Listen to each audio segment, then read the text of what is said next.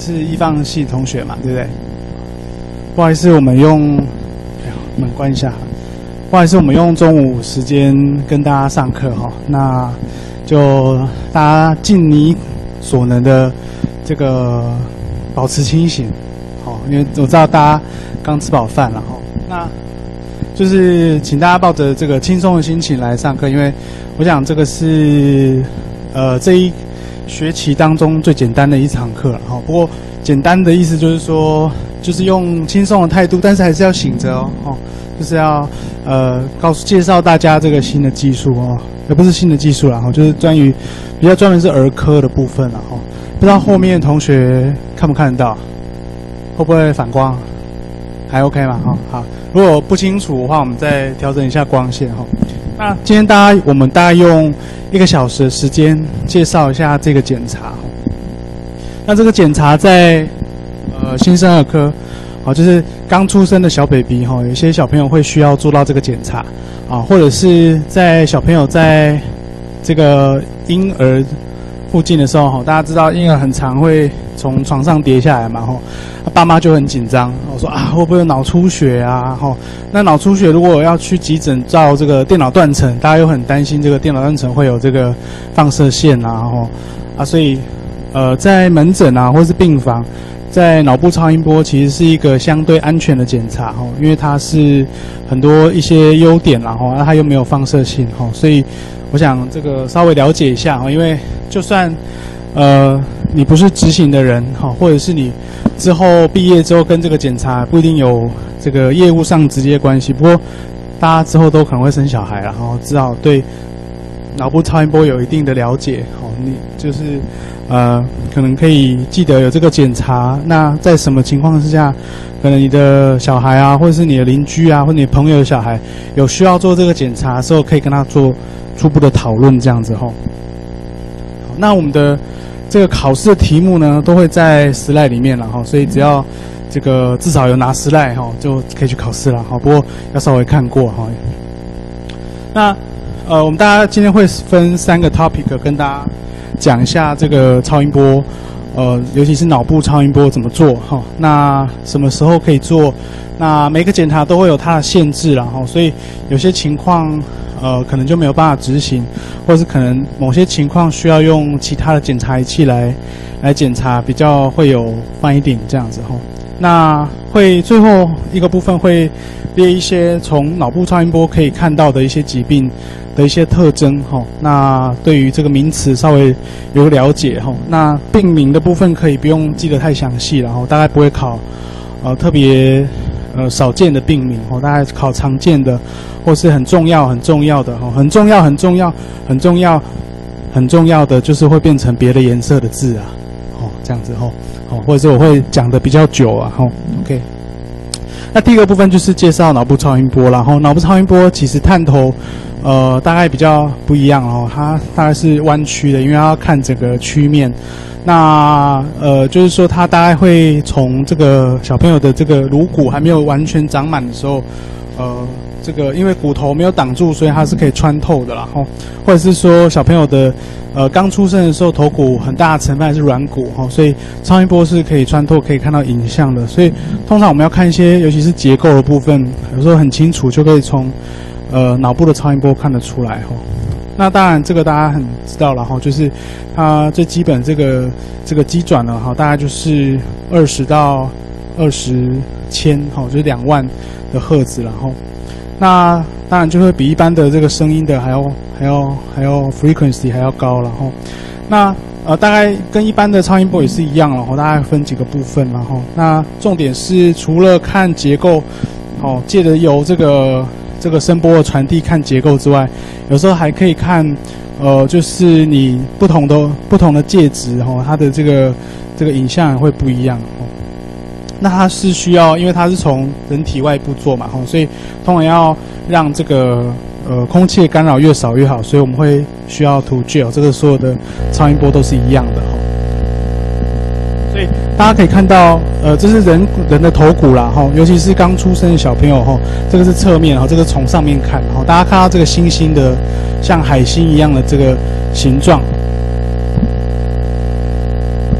看像这个海信一样的形状哈，这个地方就是软骨哦，刚出生的时候是还没有完全愈合的哈。那所以当我们的探头放在这边的时候，就会看到这样子的成像。哦，啊，当然就是不同的探头哦，这个它可以做的这个，比如说调远近啊，就可以看到比较近的这个东西这样子哦。所以呃，比较重要的事情是，当大家有看到红色字出现了嘛，对不对？哈，好，什么样的小朋友可以做超音波？第一个就是限制，就是年龄。这个怎么调呢？哦，就是说，当你的小朋友如果是两岁以上，哈。特别是一岁半以上，大概这个头骨的这个，呃，这个头骨中间这个软骨哦，骨膜的部分它就会长满了，它就会关起来，所以你就没有办法摸到一个凹凹的哈，它的囟门就关起来了哈。那我们当然不是只有从我们这边有这个，这前面叫前囟门然后后面有后囟门哈。当然只要是没骨头没有挡住的地方都可以做，好，所以从头顶啊，从后面的缝隙，从旁边的这个颅骨窝。都可以做哈，那重点大家还是记得了哈。我们讲第二次了哈，就是十八个月哈，也就是一岁半以下的小朋友才可以做哈，大了之后它就愈合了哈。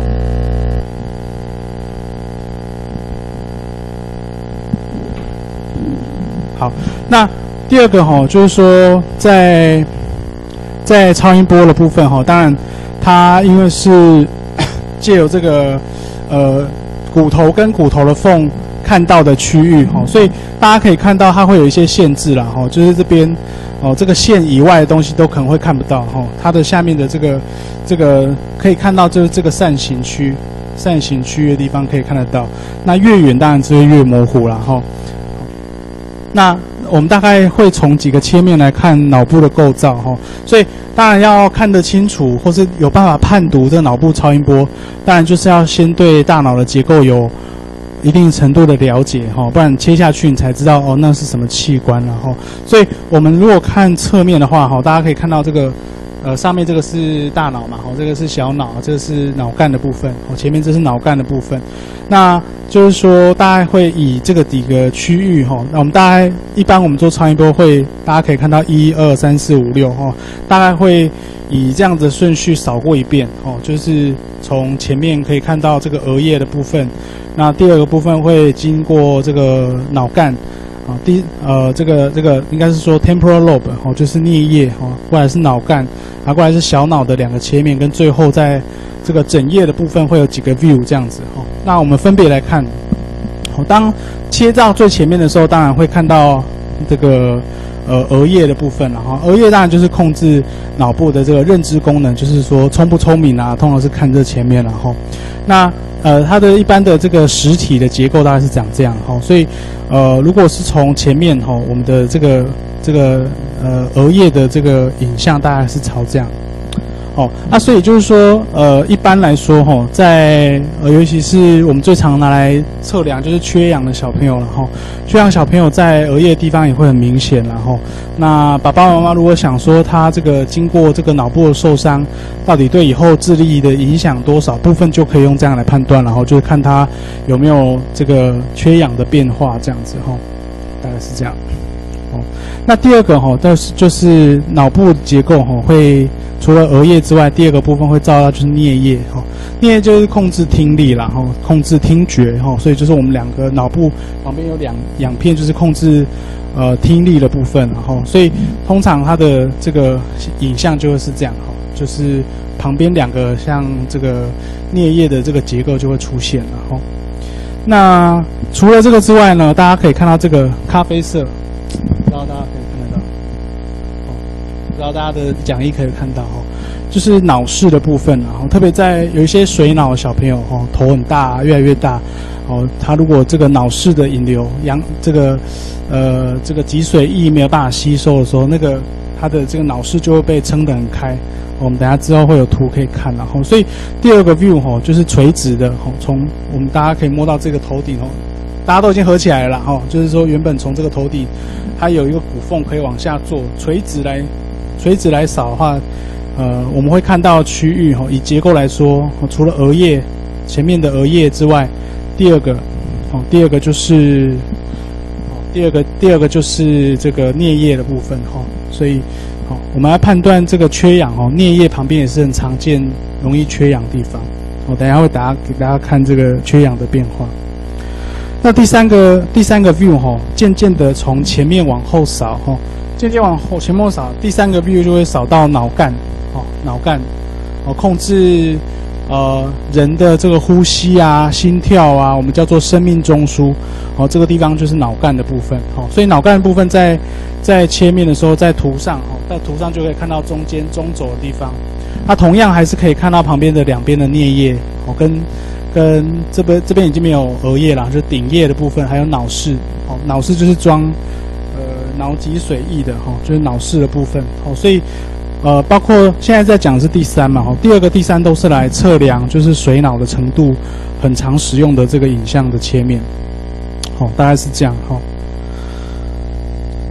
那第四个哈，第四个就渐渐往后扫哈。那大家看到一样，从头皮的这个支点。头皮的支点往下扫，哦，它就会开始扫到小脑的部分，哦，所以大家在影像上面可以看到，这这个区域就是小脑部分了，哈。那小脑部分常在儿呃小朋友的或者这个部分啊，第一个当然就是看他那边有没有发炎，然后，那第二个部分就是看呃，尤其是脑压很高的时候，我们会担心脑散脱的时候，那个地方也会。这个这个比较明显啊，或者是说很多这个小脑发育不全呐，哈，或是那边有一些先天异常的时候，在小脑呃这个第四个 view 第四个切面的时候，也会看得比较明显。哦，这样子会看到可以看到下面小脑这个部分。那第五个第五个部分就是扫小脑后侧了哈，小脑后侧。那小脑后侧大家可以看到哈，就是哦。它扫的切面就会，好，这个就是脑室了哈，这个弯弯的这个就是脑室，哦，第五个 view 它就会扫到脑室后面，哦，后侧的这个后脑角这边，哦，所以也是一样评估水脑的地方会会可以看到的位置，哈，到目前为止都没有出现红字，对不对？好，所以我们就是慢慢往后看，大家有一个角度可以切到这个这个立体的概念就可以了，哈，好，那接下来第六个，第六个就是扫。枕叶哈在后面，枕叶是负责人体功能的这个视力的部分啊，哦在后面，所以我们要看，呃，就是哦这个地方大概已经没有，大家看到已经没有碰到这个弯弯的这一条了哈，就是这个这个切面大家就看不到脑室哈，不过它可以看到什么呢哈？这个区域当然也是缺氧后脑病变。脑室周围哈，有时候，呃，这个同学在这个交互片会看到我们说啊，这个脑室周围比较亮，或者脑室周围有这个讯号比较强，哦，这个通常都是有缺氧的变化，或是有缺血的变化的时候，会在最后一个 view 第六个 view 出现的，所以大家这个前后的这个 coronal 冠状冠状切面，大家也稍微对脑部同时了解脑部的这个解剖位置，同时了解这个呃，就是我们这个脑部这个超音波的可以看到的成像。好，刚刚是从呃冠状，哦像戴王冠一样叫冠状，冠状切面切。那另外另外方向，我们的这个探头转九十度之后，就会变成矢状切面了，哦，就是这样子切。哦，大家可以想象一下，等下切会切到什么东西然后，那一样哦，一样，我们这个支点还是在这个前囟门的地方。好，那以这个为支点，因为只有这个地方有洞嘛，哦，才可以往下照。我们大家会分左右哈，我们只左右应该是对称的哈，所以我们就呃，我们就讲一边就好了哈，就是中轴。好啊，我们在脑室周围这边有一个一个 view。然后看到我们说叫顶叶的这个地方有一个 view 哦，所以一般一般来说我们的这个矢状切面就是有一般要看到五个了哈，哦就是左右哦中间之外一二，然后两边三四这样哦，会会有两边啊，因为左右对称，所以我们就讲一边就好了哈。好，那第一个就是中轴啦，我们就叫 midline sagittal，中轴的部分可以看到什么？中轴部分就会我们刚刚看到那个剖面图一样，哈，就可以看到明显看到这个脑呃这个小脑啊脑干呐，哈啊甚至可以看到这个胼胝体啊，哈胼胝体就是左右的脑部相连的地方，有没有人两边是分开的？应该是没有嘛，哈，就是我们都会我们这个这个中间连在一起的地方，哈是左右交叉神经束最密集的地方，哈，所以当当你这个中间这一条哦，像像有点像这个弯弯的这个地方，当发育不全的时候哈，我们说胼胝体发育不全的时候，通常这个这个这个孩子的智力就会不太好哦，因为他两边的大脑没有办法沟通哦，所以这个也是一个我们在做呃脑部超音波一个很重要的点，然后就是要看他胼胝体发育的程度怎么样。哦，胼胝体的英文就是 corpus callosum，然后大家在在这个讲义上面可以可以看得到。哦，所以所以通常来说，我们刚刚看到可以声音越来越大声，好，可以看得到中轴哦，这样切下去哦，当然就是可以看到，呃，当然就是有这个前面额叶啊、顶叶啊，哦，跟后面的这个呃这个枕叶的部分哈，在那个后面靠。枕头枕头的枕然后枕叶的地方，还有看到小脑哦，可以看到脑干这样子哦，可以看得到整个切面的过程然后，那下面这个是解剖图哦，这是呃，如果把脑取出来切面就是这个样子哈。好，大家再讲再看一次哈，大家可以看到小脑的形状哦，有时候小脑出血啊，哈，或者脑干出血啊，在超音波下面都可以看得到哈，这个前面是额叶啊，然后顶叶啊，然后这个枕叶的部分。好，那这个地方哈，哦，这个地方呢，这个就是有一个名词叫做 “lady in the dress” 哈。我们在做这个正中正中这个矢状切面的时候哈，你可以看到这个这边小脑啊往上延伸，这个，好，这个很像很像一个穿洋装的女士，所以我们的特这个给她一个名字啊哈，我们要确定你这个切面有没有偏，有没有在正中央，你就是要看到。这个 lady in a dress，然后 lady in a dress，哦，特别有这种名称啊、代名词啊，哈，就是会考啦，哦，就是会会出现在考题当中，哦，lady in a dress，哦，当你看到 lady in a dress，就知道我们在讲正宗的矢状切面了，哦。好，那如果哦一样哦，就是呃探头放在这边，然后转一个角度的时候，我们想要看。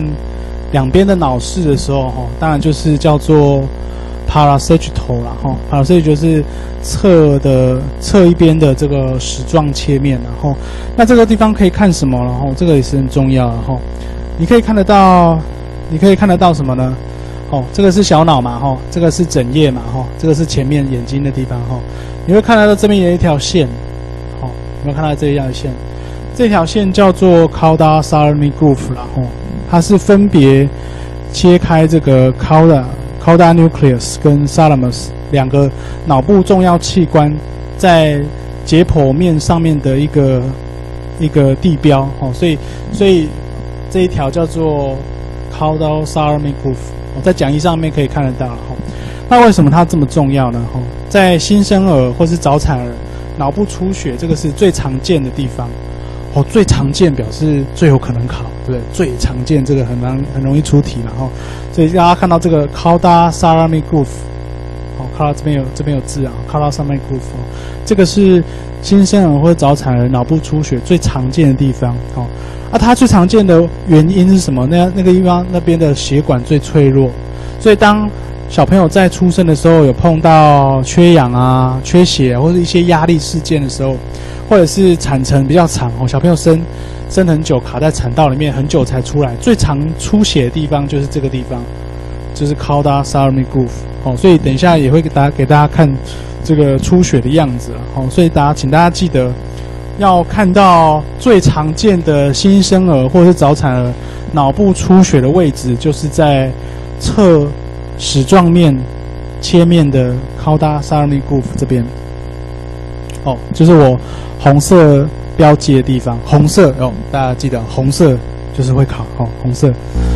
那呃，我们在如果用线来表示哈，这一样是这个 parasagittal view 了哈。大家可以看到这一个 cauda salami groove 哦，就是分别隔开这个 cauda nucleus 跟 thalamus 哦这两个重要解剖位置这一条线很重要哈，因为它的血管呃。比较脆弱哈，遇到压力事件的时候就比较容易会破裂、会出血。所以从从这个脑部超音波，大家还是可以分。我们刚刚其实有讲过了，然后大家可以区分在脑部的一些重要的不同功能的解剖位置，然后包括这个前面的这额叶啊，哦，顶叶啊，parietal、occipital 枕叶啊，跟 temporal 哦的颞叶哦部分哦，刚刚说过，颞叶就是控制听觉嘛，哦，听力啊，听不听啊东西，能不能听得懂？哦，occipital 是控制眼睛嘛，哦，就是视力好不好啊，眼睛看不看得到啊，哦，就会投射在这里，哦。那 parietal 通常是控制什么？控制手脚动作啊，好，所以大家知道，大家有听过脑性麻痹吗？有嘛，对不对？脑性麻痹伤害就伤害在这边，哦，所以就是脑性麻痹的小朋友刚出生的时候，这边就会很亮很亮，很白很白，哦，就是脑性麻痹的小朋友，因为他呃受伤，哦，最常见的的区域也在这边，然后。脑脑性麻痹就是受伤啊，缺氧出血。我在六岁之前有曾经过脑部伤害的哦，他他这个手脚不协调啊，动作不好啊，或是卧床啊，这个就是呃他的顶叶这里有受伤。那 frontal 呢？frontal 就是控制智力啊，哦，控制你的认知功能。所以很多的脑性麻痹，脑性麻痹是不是一定智力很差？不一定嘛，哈，很多脑性麻痹也可以念博士啊，可以是画家，可以唱歌什么的，哈，只是他的动作不好而已啊，所以脑性麻痹不代表就是智力不足哦，哈，只是说大家看到这个顶叶啊，跟这个颞呃，跟这个额叶啊，是不是很近？所以当严重的这个脑伤的时候，哈，通常如果这一区域都有受伤的话，当然。受伤到 parietal 就是会肢体无力或肢体不协调，或肢体这个张力很强，所以它就是脑性麻痹。那因为它很近啊，所以它不太可能刚好到这条线就没有受伤。它一旦有超过这一条线，有影响到额叶哈，就是控制智商部分，它就会除了手脚不协调之外，就会再加上智力不足。哦，所以很多的你看到有一些脑性麻痹或是脑伤的小朋友。他就是手脚不协调，再加上智力不足，所以就是因为他很近的关系，好，最后一个，最后一个是这个最旁边看顶叶的这个哦，ten tangential parasagittal，然后不过它也是一样，然后两边是对称的，它主要是要看。呃，顶叶的地方有没有被影响到，或有长什么东西这样子，然后主要是看这个，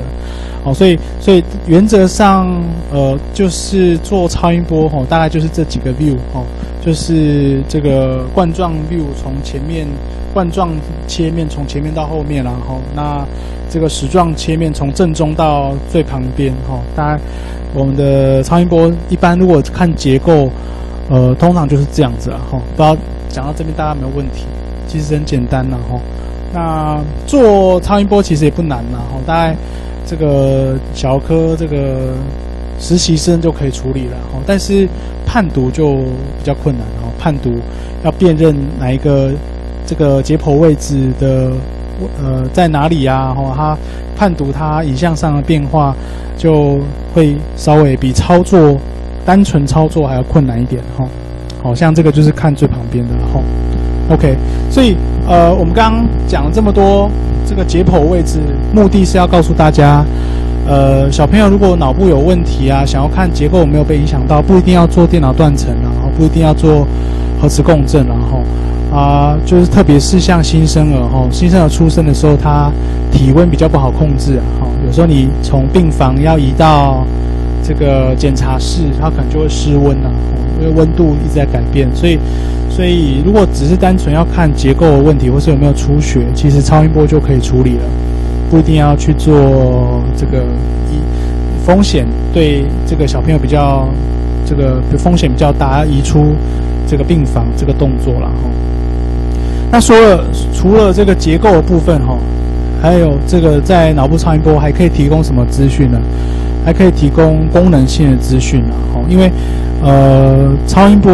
除了看影像之外，还有一个部分就是看血流嘛，哈，看多普勒，所以看多普勒就可以看到血流丰不丰丰沛了，哈，所以意思就是说，如果这小朋友已经没有心跳了，哦，比如说你从从这个超音波上面可以看到血管流动嘛，哦，那你看到没有东西在流，表示他也没有心跳了，哦，废话了，好，这个，啊，但是就是说。他的血流旺不旺盛，或是他的这个灌流量、压力够不够好，其实呃在超音波上面也可以做一个计算。哦，所以有时候我们会用这个血血流的通透度，或是它灌流的好不好，来判断小朋友的脑压高不高。我们很多脑部受伤，哦，不管是水脑啊、出血啊，哦，这些造成这个脑压很高，哦，脑压很高的小朋友，通常我们要监测，决定他要不要去开刀，决定他要不要给他一些降脑压药的时候，当然就可以部分用都普勒来做一个盖的，哦，做一个指引，哦。脑压很高的时候，那你要的剂量就要变多啊，哦，所以所以这也是一个很好，在这个就是可以一天做很多次，哦，不像做这个电脑断层可能会累积铺路这个放射的铺路量，哦，就一天可以做好多次，可以来追踪脑压的变化，所以所以大家可以看到，哈，如果是这个脑压很高的小朋友，大家可以看到在影像上面。呃，这个是 CT 然后这不是康，这不是超音波。在 CT 上面看到缺氧的小朋友，大家就看到中轴啊，或者是脑室周围会特别的讯号特别强，含水量会特别多的时候，就是会看起来比较白。哦，所以在超音波上面，当然，呃，影像上面这个，呃，大家的这个左手边这个是超音波了，然后这边是电脑断层，哦，大家可以看得到差不多哦。比如说这也是蛮亮的，含水量在 echo 上面看起来比较亮。表示它可能发炎的比较厉害，那你想要追踪它的变化，想要追踪它 serious 的呃变好还是变差啊，就可以部分用部分用 Doppler 来看嘛，吼。那当你看到波都是平平的，吼，表示这个血压打不太进去，吼，因为脑压很高的时候，你的心脏就血就打不上去的时候，它的幅起伏就很小，哦，所以大家可以理解。当脑压很高的时候，你就会看到脑部的这个都普勒的血流的变化就一点点而已，老师表示他的状况很不好，这样子吼。好，所以当一个小朋友在这个经历缺氧的时候，我们通常就会用，通常就会用都普勒来追踪他缺氧的变化。比如说像这个，他这个。这个收缩压、舒张压、收缩压、舒张压，哦，这个间隔的很开，表示脑压是 OK 的，哈。那你看这个舒张压、这个收缩啊、收缩压、舒张压，它的间隔这个差异就很小，表示它已经打不太进去了，哈。打不太进去，表示这个这个图跟上面这个图比较起来，下面这个图的这个脑压就会比较高一点，哈。这个缺氧后肿起来。脑压就会很高，这个变化，所以可以用用杜普来做 serious 的 monitor，然后做一个脑压的监测这样子哦。所以呃，大概列出哈，就是说呃，对于一个缺氧的新生儿哈，用这个呃脑部的这个血液灌流，用超音波来量哈，它其实是可以追踪这个变化然后这个大概知道就好了哈。那现在讲就是说。做超音波，其实我们刚刚提到很多了。然后做超音波的好处是什么？哦，尤其是我们现在超音波大部分是可以推来推去的，然后就是有轮子，然后所以通常是比较方便。哈，它不管是它在手术室啊，在急诊啊，或者是在加护病房啊，然后它就是不需要病人不需要移动，哦，只要机器移动就好了。哦，所以 portable，那它也是没有放射性，所以也是 non-invasive，哦，就没有侵入性的。哦，不像是电脑断层需要这个让它铺入一段的，呃一一定程度的放射量，然后，那所以因为这样子，所以也比较安全了。安全的意思就当然就包括放射铺入量跟它不需要移动，哦，不需要移动就风险会比较低一点，哦。尤其很多小朋友是插管啊，血压不稳定啊，或是他很多身上很多仪器的时候要移动的时候，其实都会麻烦，然后。那另外就是说，它很适于做追踪然后比如说它，如果我们都用这个电脑断层做追踪的话，哇，那可能比如说每天都想要知道它的变化，就会每天都需要去做 CT，那可能就是第一个健保会不给付嘛，哈，第二个是。呃，你的这个要送检查的这个团队，你的 team 就会人仰马翻了啊。所以，如果只是要追踪结构的话，我们做超音波，其实就把机器推到病人旁边，一天也可以做好多次。我们可以更精准的去追踪它的变化。比如说，像我们说的，当它的这个多普勒它的这个舒张压跟收缩压差距不是很大，说表示什么脑压很高，脑压很高需要高点的降脑压的剂量，我的药物的调整就可以更精准了哈，不会说啊这个我们一个礼拜只能做一次电脑断层，那一个礼拜才调一次药，啊这样就对病人就比较不好。那另外一个就是说 real time 啊，哦就是说病人有变化，尤其是在加护病房的时候。呃，可以更精准的掌握及时的变化，因为有时候变化脑压高高低低是是瞬间的了，所以我们如果可以掌握它这个及时的变化，突然变差，啊，或突然已已经有好转，那我们对于它的处理的方式不一样，诶，对病人的这个照顾也会比较好一点。好，那我们刚刚都讲好处了，哈，那那。大概知道哪些病人可以做超音波？哈，那接下来就要讲它在实用上面的角色跟限制了。哈，一定没有一个工具是全部都好的。哈，所以稍微知道一下 limitation。然后，在婴儿，哈，我们刚刚说这个脑部超音波是几个月以下可以做？十八嘛，哇，两分，对，就得到了。哈。那 SPA 一下，尤其是新生儿哈，或者是婴儿，呃，通常是在这个年纪小朋友才可以做了哈。那当然更小可以做，当然更小就洞越大了，然后当然就可以做了哈。所以通常在做这个超音波的大的很多的族群都是在，尤其是 premature 就是早产儿，然后特别是在三十周以前的，然后那三十周以前就当然追踪的目的有几个，哈，当然就是看脑部成熟度。哦，我们从小这个脑部是越来越分化，我们这个脑回啊，哦，像那个爱因斯坦脑回很多都是在出生之后才慢慢变得明显的，所以你大概也可以从脑回的这个精致的程度、复杂程度去看它出生的周数了，哈。所以呃，就是说在尤其是在早产儿，第一个是追踪他脑部的成熟度，那第二部分当然就是看出血了，哦。尤其是我们说 posterior fossa，在呃小脑地方出血的，它的这个可以可以观察到的这个功能特别大，然后那除了这个部分之外，当然就是我们说脑室内的出血，然后就是我们刚刚说的什么 goof groove，cauda salami groove，然后在这个侧矢状面会看到的这个部分，然后可以做一个及时的监测，然后。可以做一个筛检的工具，看他有没有脑室内的出血。那另外就是看 ventricular 的 dilatation，然后意思就是说，像是我们刚刚提到水脑部分，然后脑室的水一直很多的时候，脑压也会上升哦，所以他也是在 bedside，在床边，在病人的旁边，就马上可以知道。有时候我们会去做手术，或者是放水，把这个多余的脑水把它引流出来的时候，它就可以做一个 real time 的监测。哦，这个水今天的水比较多，明天的水是不是有因为你的治疗而变少？你很快就看到，不用每天都去做电脑断层了。哦，那其中一个部分 d u p l o f o r 我们刚刚讲过了，然后可以追踪功能性的变化了。哈，那另外当然我们这个脑超音波当然主要看结构了。哈，所以有一些先天性的变化。尤其是脑部的先天性变化，也是可以做初步的判读啊。哦，好，那好处讲完，当然是讲 limitation，然后就是说，呃，当你的这个年纪越大的时候，越接近十八个月的时候，你的 AF 就是前囟门的意思，然后它的 size 会越来越小，哈，因为那个骨头会越长越满，然后所以它的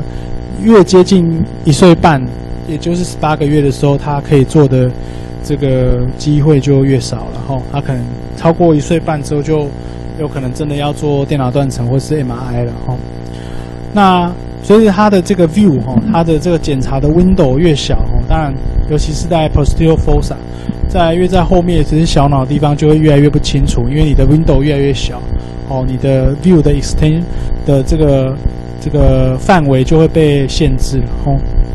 那有些像这个细微的这个 myelination 哈，就是 myelination 就是说脑部的神经学的神经的细胞在分化的时候，分化的好不好哦？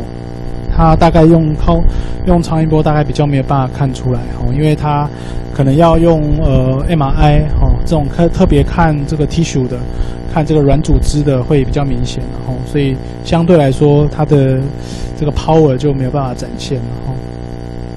那一样，然后特别碰到一些代谢性疾病，然后比如说 inborn error 或者是一些这个 metabolic disorder 的时候，就是对脑部产生产生一些毒性的变化的时候，不容易从单纯从呃超音波里面看出来，因为它并没有这些发炎啊这些代谢性的问题，并有时候初期的时候并没有改变结构，哦，所以如果你只是看结构，它可能看起来还好，但是功能上面可能就有点不一样了，哦，它的这个在 CT 或是 MRI 上面含水量的不一样，就可能在诊断上面的 power 就没有这么好。好，好，那其实我们对脑部超音波的这个了解大概是这样子哈，那接下来就放一些图，然后放一些我们在做超音波的一些。正常跟异常的图，大家看一下哈。那我们要看什么呢？哈，当然就是我们要检查的时候，我们要先知道，呃，特别什么疾病的时候，我们会需要排这个检查。然后不是每一个出生的小朋友都做啦。比如说，同学，你小时候有没有做过脑部超音波？事实上你也不知道嘛，对不对？大部分都没有啦。哈，所以通常是有问题、有症状、有疾病、有怀疑他有一些症状的时候，才会做超音波。譬如说。抽筋呐，哈，就是不是运动脚抽筋哦，是这个像羊癫疯一样抽搐的，尤其是小朋友，小 baby 也会抽筋，然后 seizure 的时候，或是他出生的时候有一些窘迫的情况，哈，或者是我们刚刚说过，他可以看脑部的成熟度，所以他也是可以看，呃，这个在 preterm 就是早产儿的这个筛检也是可以做。那有一些你知道小朋友跟妈妈这个状况有有状况，比如说妈妈出生产的时候有大出血啊，哦，那妈妈大出血，小朋友还没有出来，小朋友也会休克啊，因为妈妈的血就是小朋友的血就是妈妈给的嘛，哈，如果妈妈休克，小朋友当然也会休克啊，哈，所以妈妈状况不好的时候，出生的小朋友我们一般也会做超音波，好，那特别是头围或过大或过小的时候，我们也是会做。这个超音波然后就是我们刚刚说看水脑啊，然后看它是不是里面有长什么东西啊，哈。那 congenital malformation 就是先天有一些异常啊，哈，或者甚至感染的时候也可以做，哈，包括脑炎啊、脑膜炎啊，哦，这些情况也是可以用超音波来协助我们判读。好，特别是像这个 infarction，infarction 就是中风了，哈，中风的时候，哈，这个是。这个是呃中间这个图哦是超音波的图哦，那呃最右边图是这个 MRI 啊，哦，所以大家可以看到，呃在中风的情况之下，MRI 呃可能这个看起来还好，但是在一开始最初期的时候，其实超音波就可以给很明确讯号，看起来这边比较亮嘛，哈，这样。好这样，好尤其是这个血管哈，血管有塞住啊，或是有破裂的时候，都特别明显哈。那这个是脑出血然后脑出血在超音波上面也是可以看到这边白白的一片嘛哈。那做一个呃 MRI 或电脑断层也是可以看到相对应的现象。所以大家可以知道，我们一开始不会直接就做电脑断层，然后在怀疑有症状的时候，我们通常在尤其是在一岁半之前，我们会先做一个超音波，先看看能不能看得到我们想要看的东西了，哦，哦，所以，所以就是它其实可以初步做一个简单的诊断。那我们刚刚提过了，哈，在这个这个侧矢状面可以看到的这个 intravascular hemorrhage，哦，就 IVH，在脑室，哈，这个黑黑的是脑室啊，脑室内的出血就是这样一坨。哦，一坨哦，所以如果你去做这个照这个呃这个 CT 或 M I 就看到里面就有血啊，哦，就是对照的图这样子。所以我们大概一开始也会用超音波去帮怀疑有这个 IVH 的小朋友做检查，那甚至是一整片的出血了，哦，这个是应该是 MRI 然后 MRI 看到一整片的出血或是有类似像中风，其实在超音波上面也是可以看得到类似的痕迹了，所以是一样，小朋友症状的时候，因为小朋友通常我们会不希望他一直移动哦，啊，这个我们会就会先用比较非清洗性的方式先扫超音波，啊，如果真的看到有东西再去做更精密的检查，哦，他就比较值得去做进一步的检查，这样，好，那像这个是缺氧后变化了，缺氧后变化大概就分几种了哈。呃，像比如说中间这个中轴哈，像 Salamus 啊这些重要的器官中间哈，就是动作的讯号都要经过这边才可以下去哈，所以这边发炎的地方哈，缺氧的时候也会像脑性麻痹一样哈。那呃，这个就是一连串缺氧的变化，所以大家可以看到这个中轴这边有白白的时候，就可以看得到在 c a 上面 groove 或是 Salamus 这边也会特别亮。好，所以所以就部分可以用用这个超音波先做第一第一步的诊断这个是缺氧后变化。那在脑水肿的部分也是一样，然后脑水肿就是脑部的含水量很高，因为它发炎。我说在局部的水分很高的时候，在在这个超音波上面有看到非常非常亮哦。刚刚之前都比较黑嘛，哦，大家可以看到它是整体都很亮哦，这也是其中一个缺氧后的变化。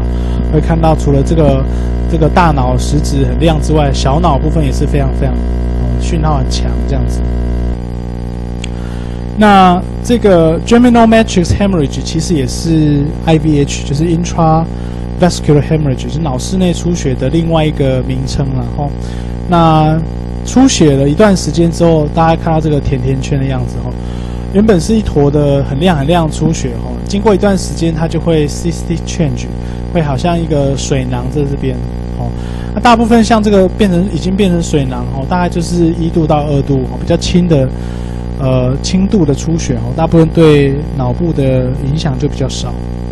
不过如果你看像这个，哦，它这个范围比较大，而且它疑似这个血有破到脑室里面，哦，当然就，呃，是比较三度或四度以上的出血的时候，对脑部的影响就会比较大，而且它就比较容易塞住，哦，像。它塞住的话，就会水这个脊髓液的流动就会受影响，就有可能会像水脑一样会产生。哦，像我如果我们要分它这个 IVH，我们会有我们刚刚说一二三四了哈，Grade One, Two, Three, Four。哦，一二度大概是比较轻度的啊，大家就会看到我们说这个侧脑石状面这边有一个 Color d a s a r m i Groove，哦这边就有一坨哦不是很平整的这个出血哈。那久了之后，就会像我们刚刚讲的这个 cystic change 了哈。那如果二哈，二就是什么？二它就是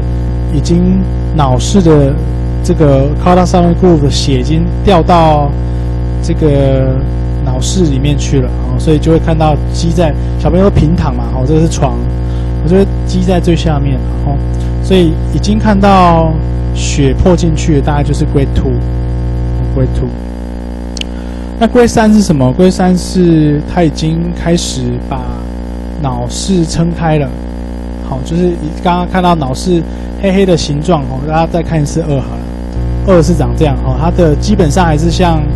新月一样哦，就是很细细的长条，但是如果到龟三的时候，它就会开始被撑开了哦，就就会开始扩张，就会类似像水脑一样哦，它就会撑开，把水脑脑室里面水撑，因为它这些血块会挡。挡住这个脑水吸收的孔道，所以撑开。那 Grade Four 的话，它就是不只是脑室里面有出血了，哦，就是脑的实质实质就有出血了，哦，所以一二三四大概是这样分了，所以这个部分稍微会考，哈，一是什么？再让大家复习一下，哈，一是只有靠搭沙尔内固的地方会有血，好，二呢，二是它的血已经跑到。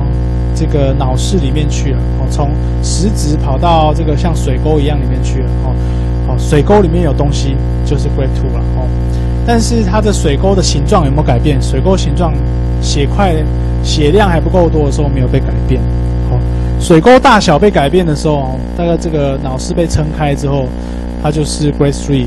好。Grade Four 呢，就是跑到水沟外面去了，哦，跑到食指里面就有血，那表示它是 Grade Four，哦，所以大概在脑部超音波最常见的，我们的报告里面最常打的就是 IVH 了，哦，在脑室内的出血这样子，哦。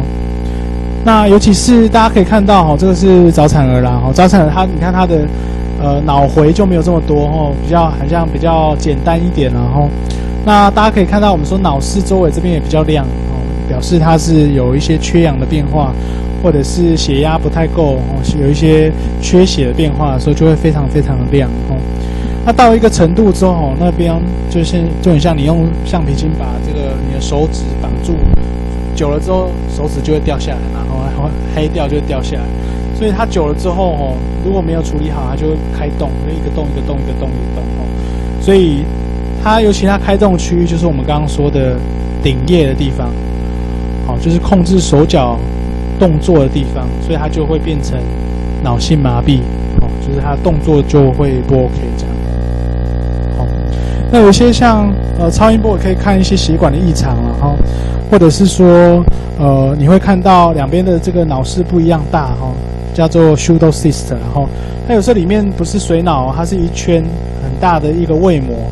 哦。一圈东西，然后那通常是什么？通常是出生在妈妈体内的时候，妈妈有时候会有一些垂直的感染，然后比如说疱疹病毒啊，或者是巨细胞病毒啊，特别病毒的时候就会产生 pseudocyst，然后 pseudocyst，哦，像这样子哈，侧面看起来就跟正面不太一样嘛，就是一包一包一包，好像水泡一样在里面哦，所以看到这样一连串水泡。的东西就跟刚刚的 IBH 不一样了哈，IBH 就是像甜甜圈一圈而已哈，不过你看叫一二三哦，很多个这样表示它叫做 pseudocyst 哦。那不一样，我们刚刚说过，当脑部出血之后，常会塞住脑水流动的地方哦，水沟会被塞住了哦，水沟塞住的话，它就变成呃水还是这么多的时候，就会积起来。就会像这样子，会把他的脑室把水沟的通道撑开，哦，甚至可能撑到这样子哦，所以你可以看得到这个越来越大，越来越大，表示这个就叫做水脑了哦。小时候都骂，看起来做出一些这个很好笑的行为同学，啊，你是水脑，其实不是哦，它是一个病名哦，这个是一个病名哦，就是脑部脑部的水分积积起来了哦，当然它就会压迫到脑实质。哦，小朋友可能会抽筋啊，甚至有可能会死亡哦。所以当然我们在脑压很高的时候，我们就会处理了，然后就会放一个引流管，哦，就是开刀把多余的水分放出来。哦，这这个是这个就不是水脑了哈，这个是它这个在小脑哦，原本是小脑的地方有一个很大的这个空腔，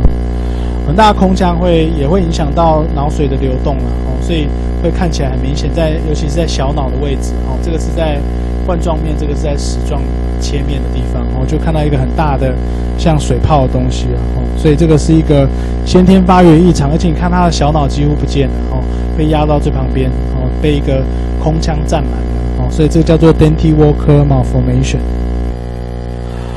那这个叫做 Posterior fossa conoid cyst，哦，这个它也是在小脑地方长了一个水流，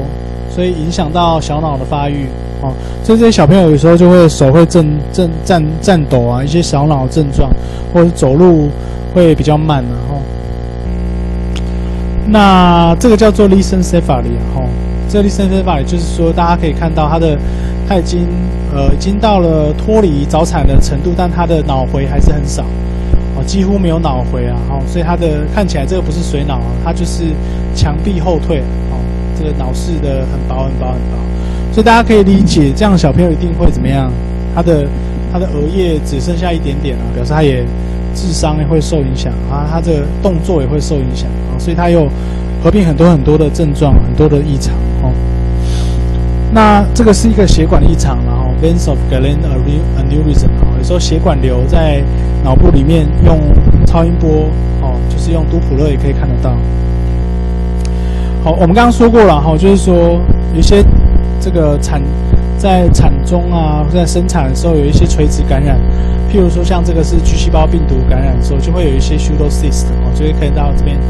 圈一圈一圈的哦，然后旁边会有一些脑室周围会有一些亮点哦，这个常医师国考的时候就会常考哦，就是呃怎么样判别是脑这个巨细胞病毒感染哦，就是做一个超音波就可以知道了哦。好，以上是超音波的内容哦，稍微再跟大家提一下重点。第一个当然就是考试重点，就是说超音波什么情况可以做，哦，什么情况要做，什么啊，什么情况不能做，当然也是一个要点嘛。哦，就是说，当他年纪太大啊，或是他的这个颅骨已经关起来，就没有办法做这个检查。那这个检查它的功能是什么？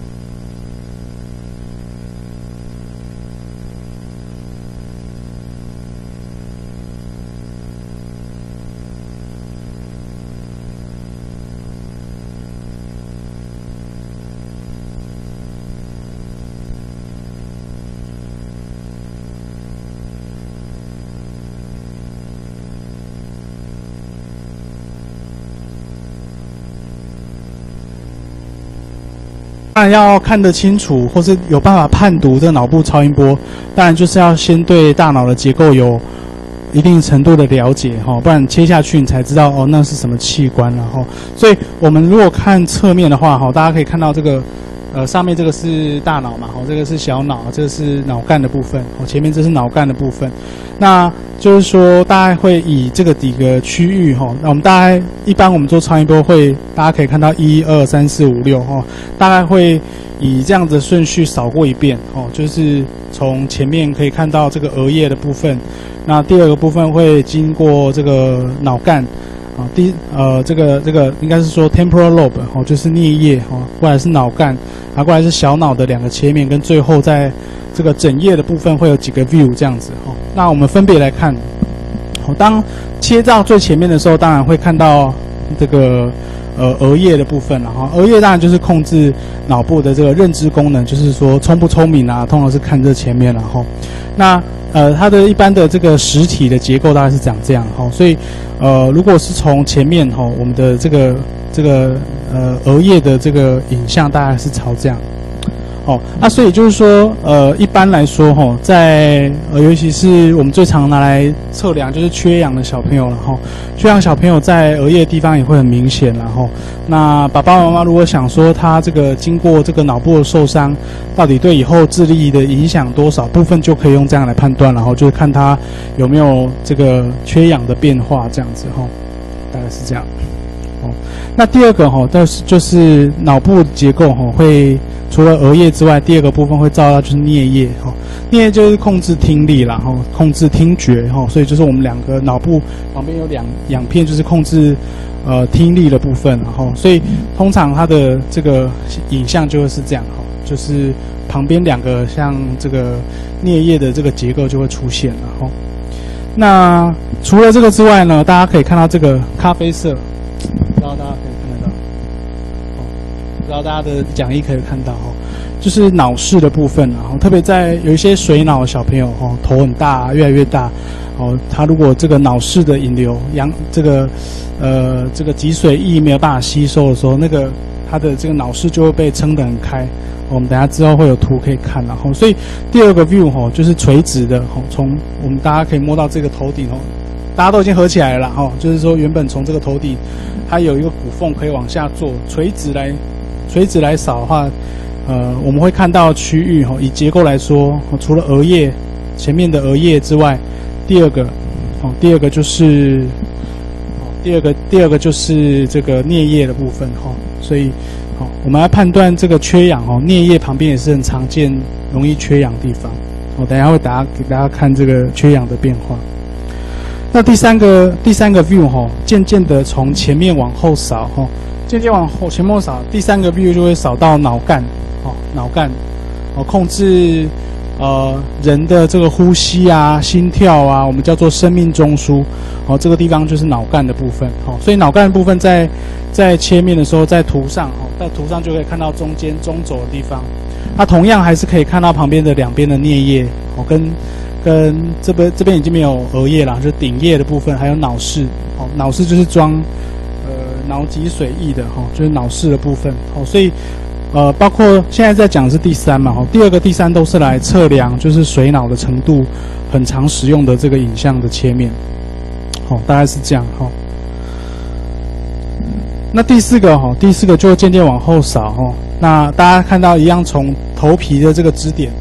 头皮的支点往下扫哈，它就会开始扫到小脑的部分。好，所以大家在影像上面可以看到，这这个区域就是小脑部分了哈。那小脑部分常在儿呃小朋友的或者这个部分啊，第一个当然就是看他那边有没有发炎然后，那第二个部分就是看呃，尤其是脑压很高的时候，我们会。担心脑散脱的时候，那个地方也会这个这个比较明显啊，或者是说很多这个小脑发育不全呐，哈，或是那边有一些先天异常的时候，在小脑呃这个第四个 view 第四个切面的时候，也会看得比较明显。哦，这样子会看到可以看到下面小脑这个部分。那第五个第五个部分就是扫小脑后侧了，哈。小脑后侧，那小脑后侧大家可以看到哈，就是哦，它扫的切面就会好，这个就是脑室了哈，这个弯弯的这个就是脑室，哦，第五个 view 它就会扫到脑室后面哦，后侧的这个后脑角这边，哦，所以也是一样评估水脑的地方会会可以看到的位置哈，到目前为止都没有出现红字，对不对？好，所以我们就是慢慢往后看，大家有一个角度。可以切到这个这个立体的概念就可以了哈。好，那接下来第六个，第六个就是扫枕叶哈，在后面。枕叶是负责人体功能的这个视力的部分啦，哦，在后面。所以我们要看，呃，就是哦，这个地方大概已经没有，大家看到已经没有碰到这个弯弯的这一条了哈。就是这个这个切面，大家就看不到脑室哈。不过它可以看到什么呢？哈，这个区域当然也是缺氧后脑病变。脑室周围哈，有时候，呃，这个同学在这个交互片，我会看到我们说啊，这个脑室周围比较亮，或者脑室周围有这个讯号比较强，哦，这个通常都是有缺氧的变化，或是有缺血的变化的时候，会在最后一个 view 第六个 view 出现的，哈。好，所以大家这个前后的这个 c o r o n a 冠状冠状切面，大家也稍微对脑部同时了解脑部的这个解剖位置，同时了解这个呃，就是我们这个脑部这个超音波的可以看到的成像。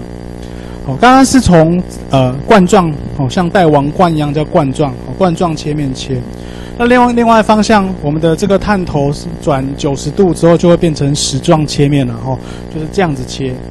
哦，大家可以想象一下，等下切会切到什么东西然后，那一样哦，一样，我们这个支点还是在这个前囟门的地方。好，那以这个为支点，因为只有这个地方有洞嘛，哦，才可以往下照。我们大家会分左右哈，我们只左右应该是对称的哈，所以我们就呃，我们就讲一边就好了哈，就是中轴哦啊，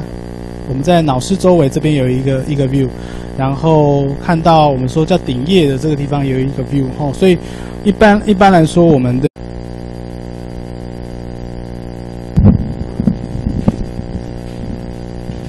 是一放系同学嘛，对不对？不好意思，我们用门关一下。不好意思，我们用中午时间跟大家上课哈，那就大家尽你所能的这个保持清醒，因为我知道大家刚吃饱饭了哈，那就是请大家抱着这个轻松的心情来上课，因为我想这个是呃这一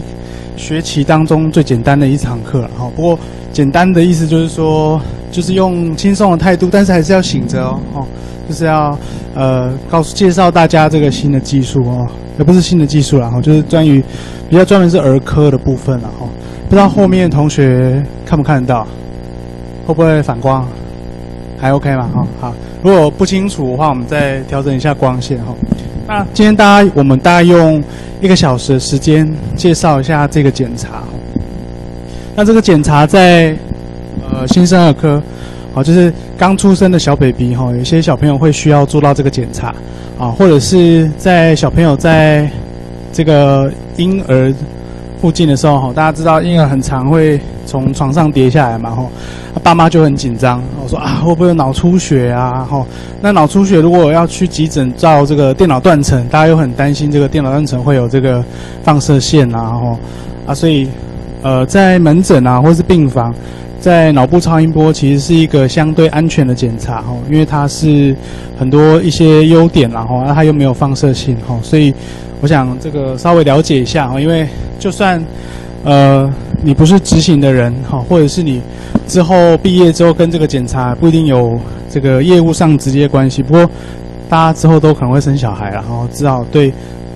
脑部超音波有一定的了解好，你就是。呃，可能可以记得有这个检查。那在什么情况之下，可能你的小孩啊，或者是你的邻居啊，或者你朋友的小孩有需要做这个检查的时候，可以跟他做初步的讨论，这样子哈。那我们的这个考试的题目呢，都会在时赖里面了哈，所以只要这个至少有拿时赖哈，就可以去考试了哈。不过要稍微看过哈。那呃，我们大家今天会分三个 topic 跟大家。讲一下这个超音波，呃，尤其是脑部超音波怎么做哈？那什么时候可以做？那每个检查都会有它的限制然后，所以有些情况呃可能就没有办法执行，或是可能某些情况需要用其他的检查仪器来来检查，比较会有翻一点这样子哈。那会最后一个部分会列一些从脑部超音波可以看到的一些疾病。的一些特征哈，那对于这个名词稍微有了解哈，那病名的部分可以不用记得太详细，然后大概不会考，呃特别呃少见的病名哦，大概考常见的或是很重要很重要的哈，很重要很重要很重要很重要的就是会变成别的颜色的字啊，哦这样子吼，哦或者是我会讲的比较久啊吼，OK。那第一个部分就是介绍脑部超音波，然后脑部超音波其实探头。呃，大概比较不一样哦，它大概是弯曲的，因为它要看整个曲面。那呃，就是说它大概会从这个小朋友的这个颅骨还没有完全长满的时候，呃，这个因为骨头没有挡住，所以它是可以穿透的啦。吼，或者是说小朋友的呃刚出生的时候头骨很大的成分是软骨哈，所以超音波是可以穿透，可以看到影像的。所以通常我们要看一些，尤其是结构的部分，有时候很清楚就可以从。呃，脑部的超音波看得出来哈。那当然，这个大家很知道了哈，就是它最基本这个这个机转呢哈，大概就是二十到二十千哈，就是两万的赫兹然后，那当然就会比一般的这个声音的还要还要还要 frequency 还要高了哈。那呃，大概跟一般的超音波也是一样了哈，大概分几个部分然后，那重点是除了看结构，哦，借着由这个。这个声波的传递看结构之外，有时候还可以看，呃，就是你不同的不同的介质哈，它的这个这个影像会不一样。那它是需要，因为它是从人体外部做嘛哈，所以通常要让这个呃空气的干扰越少越好，所以我们会需要涂 gel，这个所有的超音波都是一样的哈。所以大家可以看到，呃，这是人人的头骨啦，哈，尤其是刚出生的小朋友，哈，这个是侧面，哈，这个从上面看，哈，大家看到这个星星的像海星一样的这个形状，看像这个海星一样的形状，哈，这个地方就是软骨，哦，刚出生的时候是还没有完全愈合的，哈，那所以当我们的探头放在这边的时候，就会看到这样子的成像，哦，那当然就是不同的探头，哦，这个。它可以做的这个，比如说调远近啊，就可以看到比较近的这个东西，这样子哦。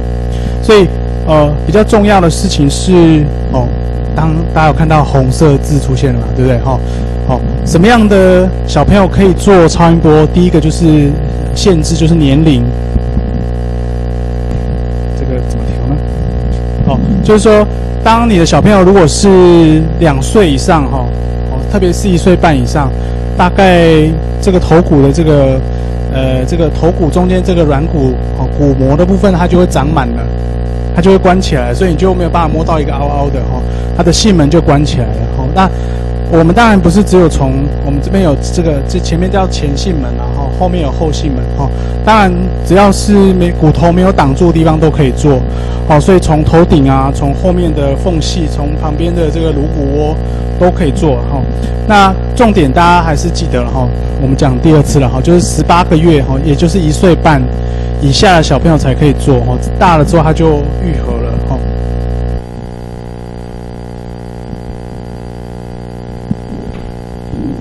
好，那第二个哈，就是说在在超音波的部分哈，当然它因为是借由这个呃骨头跟骨头的缝。看到的区域哈，所以大家可以看到它会有一些限制了哈，就是这边哦，这个线以外的东西都可能会看不到哈。它的下面的这个这个可以看到，就是这个扇形区、扇形区的地方可以看得到。那越远当然就会越模糊了哈。那我们大概会从几个切面来看脑部的构造哈，所以大家不管是他在手术室啊。在急诊啊，或者是在加护病房啊，然后它就是不需要病人不需要移动哦，只要机器移动就好了哦。所以 portable 哦，那它也是没有放射性，所以也是 non-invasive 哦，就没有侵入性的哦，不像是电脑断层需要这个让它铺入一段的呃一一定程度的放射量，然后那所以因为这样子，所以也比较安全啊。安全的意思就当然就包括。放射铺路量跟它不需要移动哦，不需要移动就风险会比较低一点哦。尤其很多小朋友是插管啊、血压不稳定啊，或是他很多身上很多仪器的时候要移动的时候，其实都会麻烦然后。那另外就是说，它很适于做追踪了吼，比如说它如果我们都用这个电脑断层做追踪的话。哇，那可能比如说每天都想要知道它的变化，就会每天都需要去做 CT，那可能就是第一个健保会不给付嘛，哈，第二个是，呃，你的这个要送检查的这个团队，你的 team 就会人仰马翻了，哈，所以如果只是要追踪结构的话，我们做超音波其实就把机器推到病人旁边，一天也可以做好多次，我们可以更精准的去追踪它的变化。比如说，像我们说的，当它的这个多普勒，它的这个舒张压跟收缩压差距不是很大，说表示什么？脑压很高，脑压很高，需要高一点的降脑压的剂量，我的药物的调整就可以更精准了哈，不会说啊，这个我们一个礼拜只能做一次电脑断层，那一个礼拜才调一次药，啊，这样就对病人就比较不好。那另外一个就是说 real time 然后就是说病人有变化，尤其是在加护病房的时候。呃，可以更精准的掌握及时的变化，因为有时候变化脑压高高低低是是瞬间的啦，所以我们如果可以掌握它这个及时的变化，突然变差，啊，或突然已已经有好转，那我们对于它的处理的方式不一样，诶，对病人的这个照顾也会比较好一点。好，那我们刚刚都讲好处了哈，那那。大概知道哪些病人可以做超音波？哈，那接下来就要讲他在实用上面的角色跟限制了。哈，一定没有一个工具是全部都好的。哈，所以稍微知道一下 limitation。然后，在婴儿哈，我们刚刚说这个脑部超音波是几个月以下可以做？十八嘛，哇，两分，对，就得到了。哈。那 SPA 一下，尤其是新生儿哈，或者是婴儿，呃，通常是在这个年纪小朋友才可以做，然后那当然更小可以做，当然更小就洞越大，然后当然就可以做了，哈。所以通常在做这个超音波的大的很多的族群都是在，尤其是 premature 就是早产儿，然后特别是在三十周以前的，然后。那三十周以前就当然追踪的目的有几个哈，当然就是看脑部成熟度哦。我们从小这个脑部是越来越分化，我们这个脑回啊，哦，像那个爱因斯坦脑回很多都是在出生之后才慢慢变得明显的，所以你大概也可以从脑回的这个精致的程度、复杂的程度去看它出生的周数了哈。所以。呃，就是说，在尤其是在早产儿，第一个是追踪他脑部的成熟度，那第二部分当然就是看出血，然后尤其是我们说 posterior fossa，在呃小脑地方出血的，它的这个可以可以观察到的这个功能特别大，然后那除了这个部分之外，当然就是我们说脑室内的出血，然后就是我们刚刚说的什么 groove。高达 salami groove，然后在这个侧矢状面会看到的这个部分，然后可以做一个及时的监测，然后可以做一个筛检的工具，看它有没有脑室内的出血。那另外就是看 ventricular 的 dilatation，然后意思就是说，像是我们刚刚提到水脑部分，然后脑室的水一直很多的时候，脑压也会上升哦，所以。他也是在 bedside，在床边，在病人的旁边，就马上可以知道。有时候我们会去做手术，或者是放水，把这个多余的脑水把它引流出来的时候，它就可以做一个 real time 的监测。哦，这个水今天的水比较多，明天的水是不是有因为你的治疗而变少？你很快就看到，不用每天都去做电脑断层哦。那其中一个部分 d u p l f o r 我们刚刚讲过了，然后可以追踪功能性的变化了哈。那另外当然我们这个脑超音波当然主要看结构了哈，所以有一些先天性的变化，尤其是脑部的先天性变化也是可以做初步的判读了哦。好，那好处讲完，当然是讲 limitation 了，吼就是说。呃，当你的这个年纪越大的时候，越接近十八个月的时候，你的 AF 就是前囟门的意思，然后它的 size 会越来越小哈，因为那个骨头会越长越满，然后所以它的越接近一岁半，也就是十八个月的时候，它可以做的这个机会就越少了哈，它可能超过一岁半之后，就有可能真的要做电脑断层或是 MRI 了哈，那。所以它的这个 view 哈，它的这个检查的 window 越小哈，当然，尤其是在 posterior fossa，在越在后面，只是小脑地方就会越来越不清楚，因为你的 window 越来越小，哦，你的 view 的 extent 的这个这个范围就会被限制哦。那有些像这个细微的这个 myelination 哈，就是 myelination 就是说脑部的神经学的神经的细胞在分化的时候，分化的好不好哦？它大概用靠用超音波大概比较没有办法看出来哦，因为它可能要用呃 MRI 哦这种特特别看这个 tissue 的，看这个软组织的会比较明显，然后所以相对来说它的这个 power 就没有办法展现了哈。那一样然后特别碰到一些代谢性疾病哈，比如说 inborn error 或者是一些这个 metabolic disorder 的时候，就是对脑部产生产生一些毒性的变化的时候，不容易从单纯从呃超音波里面看出来，因为它并没有这些发炎啊，这些代谢性的问题，并有时候初期的时候并没有改变结构，哦，所以如果你只是看结构，它可能看起来还好，但是功能上面可能就有点不一样了，哦，它的这个在 CT 或是 MRI 上面含水量的不一样，就可能在诊断上面的 power 就没有这么好。的，这个矢状切面就是说一般要看到五个了，哈。哦，就是左右哦，中间之外一二，然后两边三四这样哦，会会有两边啊，因为左右对称，所以我们就讲一边就好了哈。好，那第一个就是中轴啦，我们就叫 midline sagittal。中轴的部分可以看到什么？中轴部分就会有我们刚刚看到那个剖面图一样，然后就可以看到明显看到这个脑呃这个小脑啊、脑干呐，哈啊，甚至可以看到这个胼胝体啊，哈，胼胝体就是。左右的脑部相连的地方，有没有人两边是分开的？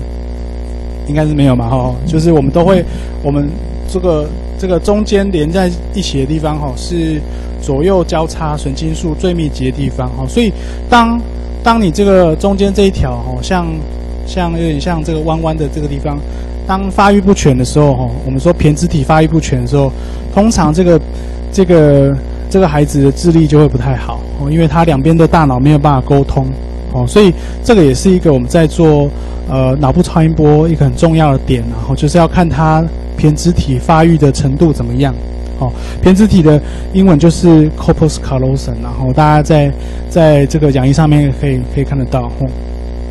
所以所以通常来说，我们刚刚看到可以声音越来越大声。可以看得到中轴哦，这样切下去哦，当然就是可以看到，呃，当然就是有这个前面额叶啊、顶叶啊，哦，跟后面的这个呃这个枕叶的部分哈，在那个后面靠枕头枕头的枕啊和枕叶的地方，还有看到小脑哦，可以看到脑干这样子哦，可以看得到整个切面的过程然后，那下面这个是解剖图哦，就是呃如果把脑取出来切面就是这个样子哦。大家再讲再看一次哈，大家可以看到小脑的形状哈，有时候小脑出血啊哈，或者脑干出血啊，在超音波下面都可以看得到哈。这个前面是额叶啊，然后顶叶啊，然后这个枕叶的部分。好，那这个地方哈，哦，这个地方呢，这个就是有一个名词叫做 “lady in the dress” 哈。我们在做这个正中正中这个矢状切面的时候哈。你可以看到这个这边小脑啊往上延伸，这个，好，这个很像很像一个穿洋装的女士，所以我们的特这个给她一个名字啊，吼，我们要确定你这个切面有没有偏，有没有在正中央，你就是要看到这个 lady in a dress，然后 lady in a dress，哦，特别有这种名称啊、代名词啊，哈，就是会考。就是会会出现在考题当中，哦，lady in the dress，哦，当你看到 lady in the dress，就知道我们在讲正宗的矢状切面了，哦。好，那如果哦一样哦，就是呃探头放在这边，然后转一个角度的时候，我们想要看两边的脑室的时候，哈，当然就是叫做。Parasagittal 啦，哈，parasagittal 就是侧的侧一边的这个矢状切面，然后那这个地方可以看什么？然后这个也是很重要，然后你可以看得到，你可以看得到什么呢？哦，这个是小脑嘛，哈，这个是枕叶嘛，哈，这个是前面眼睛的地方，哈，你会看得到这边有一条线，好，有没有看到这一条线？这条线叫做 cauda salami groove 然后它是分别切开这个 cauda。Cauda nucleus 跟 thalamus 两个脑部重要器官在解剖面上面的一个一个地标哦，所以所以这一条叫做 cauda salami groove，在讲义上面可以看得到哈。那为什么它这么重要呢？哈，在新生儿或是早产儿脑部出血，这个是最常见的地方。哦，最常见表示最有可能考，对不对？最常见这个很难很容易出题然后，所以大家看到这个 cauda salami groove，哦，cauda 这边有这边有字啊，cauda salami groove，这个是新生儿或者早产儿脑部出血最常见的地方，哦，啊，它最常见的原因是什么？那那个地方那边的血管最脆弱，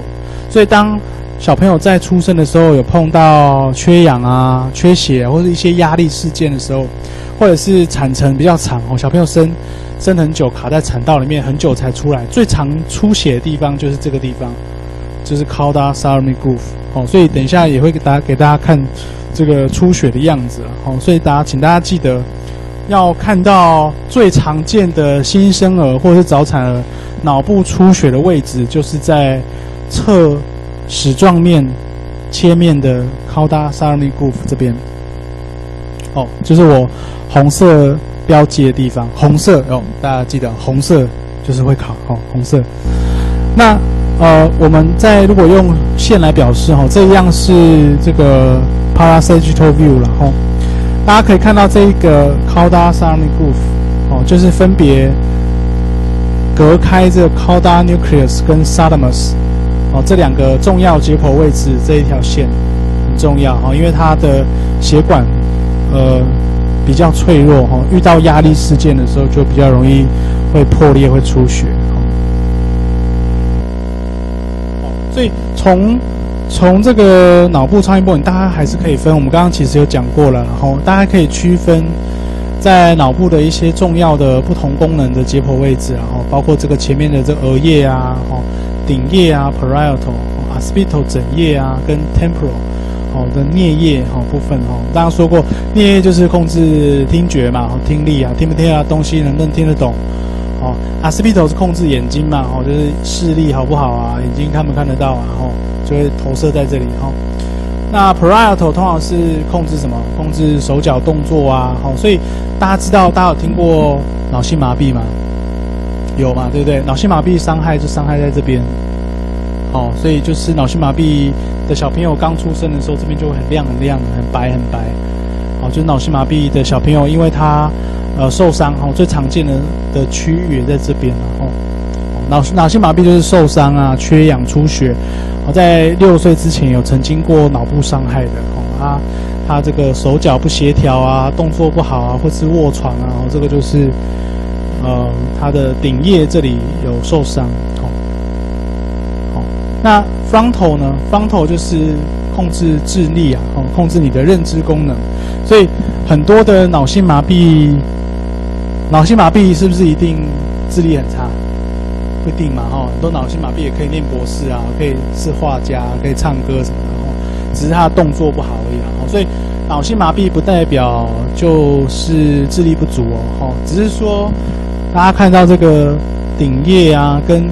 这个颞呃，跟这个额叶啊，是不是很近？所以当严重的这个脑伤的时候，通常如果这一区域都有受伤的话，当然。受伤到 parietal 就是会肢体无力或肢体不协调，或肢体这个张力很强，所以它就是脑性麻痹。那因为它很近啊，所以它不太可能刚好到这条线就没有受伤。它一旦有超过这一条线，有影响到额叶哈，就是控制智商部分，它就会除了手脚不协调之外，就会再加上智力不足。哦，所以很多的你看到有一些脑性麻痹或是脑伤的小朋友。他就是手脚不协调，再加上智力不足，所以就是因为他很近的关系，然后好，最后一个，最后一个是这个最旁边看顶叶的这个哦，ten tangential parasagittal，然后不过它也是一样，然后两边是对称的，它主要是要看呃顶叶的地方有没有被影响到，或有长什么东西这样子，然后主要是看这个。哦，所以所以原则上，呃，就是做超音波，吼，大概就是这几个 view，哦，就是这个冠状 view 从前面冠状切面从前面到后面，然后那这个矢状切面从正中到最旁边，哈，大家我们的超音波一般如果看结构，呃，通常就是这样子了，哈，不知道讲到这边大家有没有问题？其实很简单了，哈，那做超音波其实也不难了，哈，大概。这个小科这个实习生就可以处理了哈，但是判读就比较困难哈。判读要辨认哪一个这个解剖位置的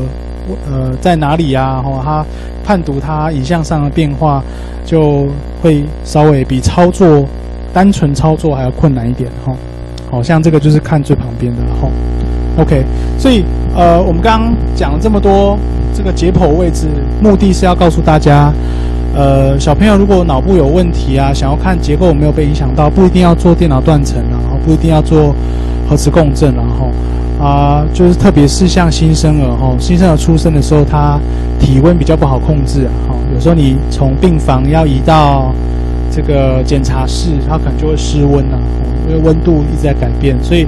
所以，如果只是单纯要看结构的问题，或是有没有出血，其实超音波就可以处理了，不一定要去做这个一风险对这个小朋友比较这个风险比较大，移出这个病房这个动作了哈。那说了，除了这个结构的部分哈，还有这个在脑部超音波还可以提供什么资讯呢？还可以提供功能性的资讯啊，哈，因为。呃，超音波除了看影像之外，还有一个部分就是看血流嘛，哈，看多普勒，所以看多普勒就可以看到血流丰不丰丰沛了，哈，所以意思就是说，如果这小朋友已经没有心跳了哦，比如说你从从这个超音波上面可以看到血管流动嘛哦，那你看到没有东西在流，表示他也没有心跳了哦。废话了，好，这个好啊，但是就是说他的血流旺不旺盛，或是他的这个灌流量压力够不够好，其实呃在超音波上面也可以做一个计算。哦，所以有时候我们会用这个血血流的通透度，或是它灌流的好不好，来判断小朋友的脑压高不高。我们很多脑部受伤，哦，不管是水脑啊、出血啊，哦，这些造成这个脑压很高，哦，脑压很高的小朋友，通常我们要监测，决定他要不要去开刀，决定他要不要给他一些降脑压药的时候，当然就可以部分用多普勒来做一个 guide 的，哦，做一个指引，哦。脑压很高的时候，那你要的剂量就要变多啊，吼，所以所以这也是一个很好，在这个就是可以一天做很多次，哦，不像做这个电脑断层可能会累积铺路这个放射的铺路量，哦，就一天可以做好多次，可以来追踪脑压的变化。所以所以大家可以看到，哈，如果是这个脑压很高的小朋友，大家可以看到在影像上面。呃，这个是 CT，然后这不是康，这不是超音波。在 CT 上面看到缺氧小朋友，大家就看到中轴啊，或者是脑室周围会特别的讯号特别强，含水量会特别多的时候，就是会看起来比较白。哦，所以在超音波上面，当然，呃，影像上面这个，呃，大家的这个左手边这个是超音波了，然后这边是电脑断层。哦，大家可以看得到差不多哦，比如说这也是蛮亮的，含水量在 echo 上面看起来比较亮。表示他可能发炎的比较厉害，那你想要追踪它的变化，想要追踪它 serious 的呃变好还是变差啊，就可以部分用部分用 Doppler 来看嘛，吼。那当你看到波都是平平的，吼，表示这个血压打不太进去，吼，因为脑压很高的时候，你的心脏就血就打不上去的时候，它的幅起伏就很小，所以大家可以理解。当脑压很高的时候，你就会看到脑部的这个都普勒的血流的变化就一点点而已，老是表示他的状况很不好，这样子吼。好，所以当一个小朋友在这个经历缺氧的时候，我们通常就会用，通常就会用都普勒来追踪他缺氧的变化。好，比如说像这个，他这个。这个收缩压、舒张压、收缩压、舒张压，哦，这个间隔的很开，表示脑压是 OK 的哈。那你看这个舒张压、这个收缩啊、收缩压、舒张压，它的间隔这个差异就很小，表示它已经打不太进去了哈。打不太进去，表示这个这个图跟上面这个图比较起来，下面这个图的这个脑压就会比较高一点哈。这个缺氧后肿起来。脑压就会很高，这个变化，所以可以用用 d o p l e 来做 serious 的 monitor，然后做一个脑压的监测这样子哦。所以呃，大概列出哈，就是说呃，对于一个缺氧的新生儿哈，用这个呃脑部的这个血液灌流，用超音波来量哈，它其实是可以追踪这个变化然后这个大概知道就好了哈。那现在讲就是说。做超音波，其实我们刚刚提到很多了。然后做超音波的好处是什么？吼，尤其是我们现在超音波大部分是可以推来推去的，然后就是有轮子，然后所以通常是比较方便，哈，